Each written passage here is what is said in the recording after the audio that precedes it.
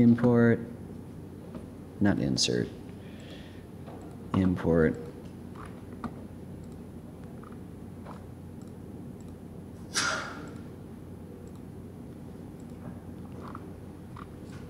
In this case, it actually did scale it down really tiny, so I'm just going to scale it up bigger.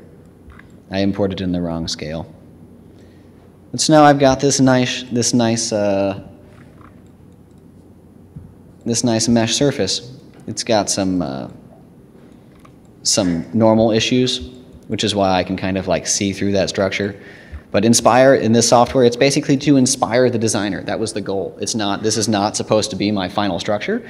This is just supposed to basically give me a, a floor plan or like a, like a, a map of what I then want a CAD model. So I could very quickly go back in here and model out some very thin walls, like maybe it's, maybe I just go in here and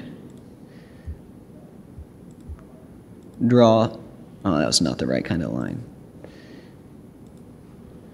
Draw, ah draw some very quick structures through here, and I'm again doing this very fast. I can actually probably just take a section of this SEC section.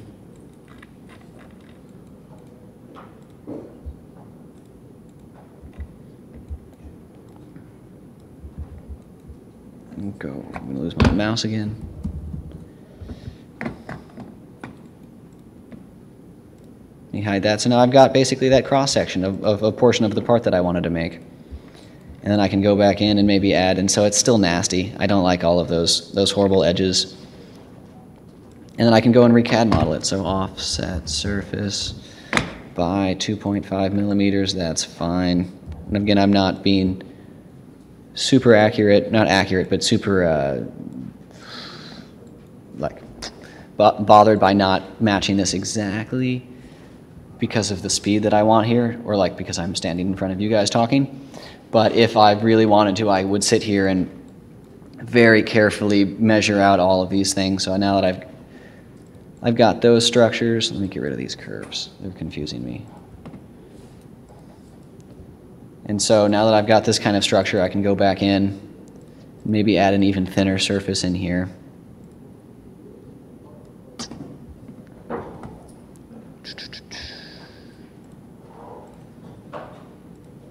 And again, because I'm going to basically smash these things together, not even smash, like not smash, but Boolean union everything together in the end, I don't really care about following those exact curves perfectly. So long as they're intersecting, that's basically, for the sake of speed, all I care about. Offset surface by one millimeter.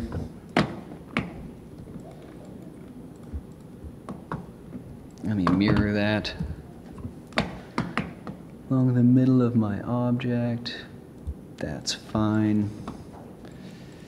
Mirror that along here. And so once I've got my structure down in here, and I think it had some cross bracing too, if I, if I bring it up, yeah, it's got some cross bracing. But I mean, very, very quickly, I can model it, maybe just enough to get a test model out that I go and print out really quickly on an FDM machine or on a SLS machine or whatever it is and do a test fit at this point. I'm just going to go in here and see if it makes sure everything fits together still.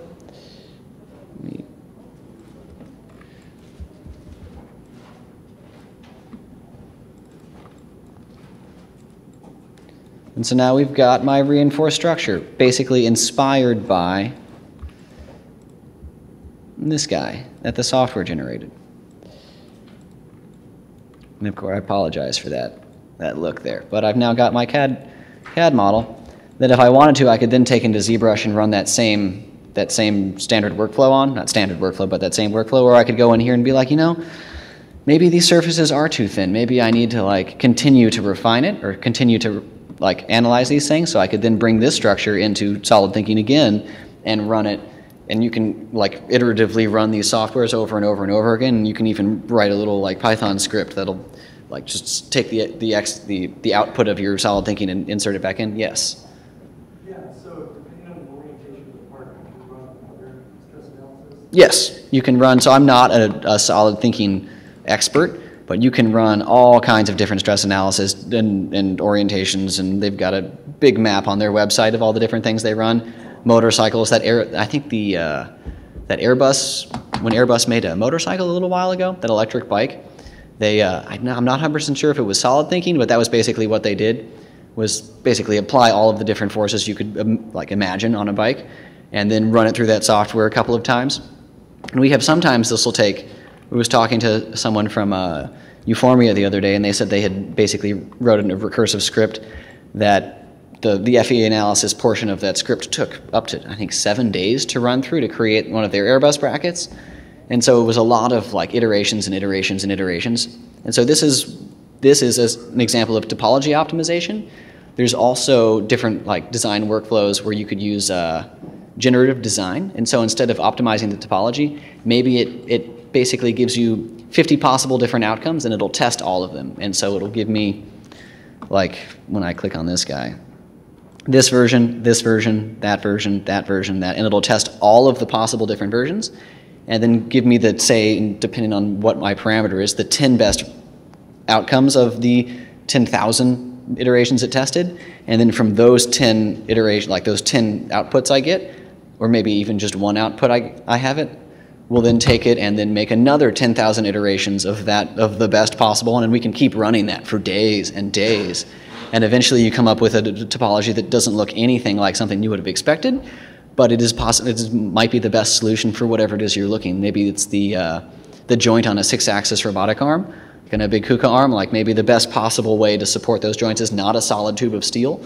Maybe it's like a very fine lattice, but even that lattice is not a consistent, like, equilateral triangle running across the entire outside of this lattice. Maybe it's only in particular, like if it's say a, uh, an automotive arm that only does the same motion all day long and it doesn't have to like compensate on possibly doing 10 other motions. It's just picking up one part and the forces are only ever being applied on one side of that arm. Maybe it just reinforces that arm and the rest becomes nothing.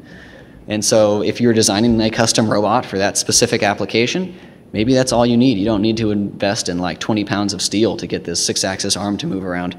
Maybe it's just a tiny little like pipe where the main stresses are run and then a lot of SLS printed plastic going around the outside that's just sort of for safety or for running cables or something along those lines. And so like now that we're back here, we could either boolean everything together. I could take it back into ZBrush. Let's just do that just to see what it would look like. ZBrush again. I can do it as an STL.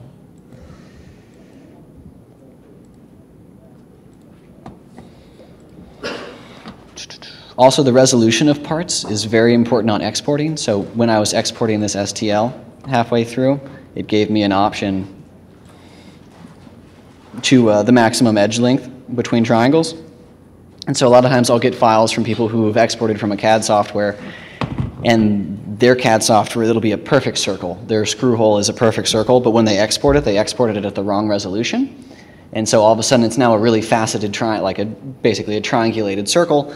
That doesn't work very well or it's not what your intended goal would be. And so when we print it out and send it back to you guys, then someone will be like, oh, well, your machine screwed something up or like it's wrong with the, uh, like something in your slicing software caused these issues. And it was really, no, it's the original CAD data that you sent to it. It might look well, but no one really checks the meshes or the STLs that often. A lot of times people will like, oh, I've got an aerospace like some, some bracket for like Airbus, and they'll send it over to us and we'll get it and be like, this is a horrible file.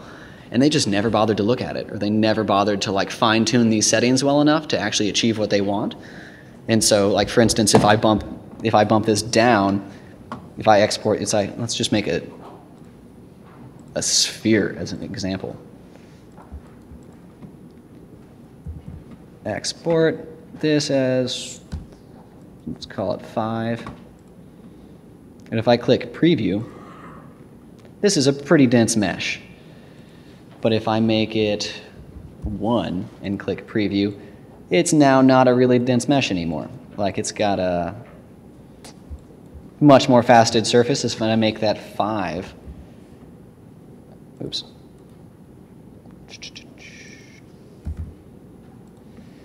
If I make this 5 and click preview, now it's even worse, or 50 preview. I guess it doesn't even go that high. But a lot of times I'll get files that it, like this sphere will be made of like eight possible polygons, and so it doesn't even look like a sphere anymore. But they won't have realized that when they export the files, and so when they get the files back, they have people are very upset that it didn't doesn't match. But so if I export this guy at let's call it 45, and then we're going to export this at 0.001 millimeters, which is what I found works pretty well for maintaining the uh, basically the resolution of your structure. And so if I import this guy onto, what did I call that? Oh, it's not an OBJ. It's an STL. For some reason, ZBrush doesn't like their user interface could use some work. STL, they put their STL importer in a different location than everything else. So now we've got this structure back in ZBrush again. And then let me very quickly just retopologize the whole, or let me weld some surface, weld some vertices first. Retopologize the whole structure. And so right now you can see, this is a, probably a better example to see what retopologizing does. We've got different meshes going on. They're not, like they don't, they just intersect randomly. That, that edge there is not actually the edge of a mesh. It's just the graphical representation of where two things mash together. It would have a black line on it if it was the edge of a mesh. But so if I dynamesh everything together, it'll give me a pretty good uh, retopologi retopologization of this soft of this object. And then maybe I want to smooth it all again. Smooth it all down. Everything's got nice fillets, things that are hard to fillet. It just filleted over really well, very easily, very quickly. Not did not spend a lot of time trying to figure out how to fillet all of those objects, particularly this really crude section that I drew through there that I just took. I would norm like that was pretty bad, but now it's it's pretty smooth. We can even like polish it some more. Did that do anything? Polish a little bit. And so let's decimate it once more, just so it's not a really heavy file.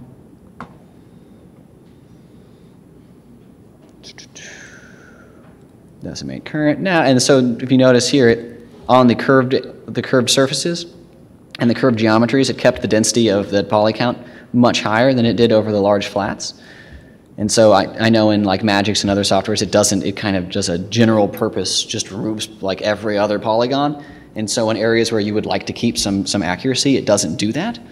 And so that's why I like a lot of Meshmixer's also quite good at, at uh, decimation because it'll basically keep the surfaces you want smooth, smooth and keep the poly counts low enough that it is still usable. And so if I export this guy again as 67, something, some just some number, but I could then bring it back into solid thinking and do this whole cycle once more. Or print it out, maybe it fails, maybe I make some modifications that I just, from my experiences and from being an engineer, I go in here and be like, you know, actually, or even from 3D printing, like maybe that, that overhang up there is too far to like print without, to be unsupported. Maybe I should actually go and add in some cross bracing or some 45 degree structures in here to help it better uh, stand to uh, whatever it is I'm trying to do to it.